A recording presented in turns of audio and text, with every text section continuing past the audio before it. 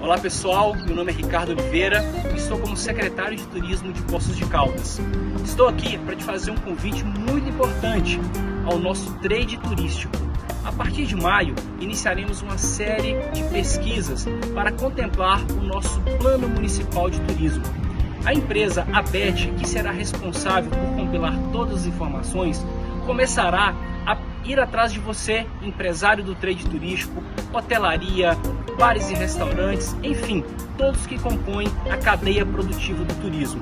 Esperamos contar com a sua colaboração para darmos aí início a esse processo muito importante para o futuro da nossa cidade de Poços de Caldas enquanto instância turística.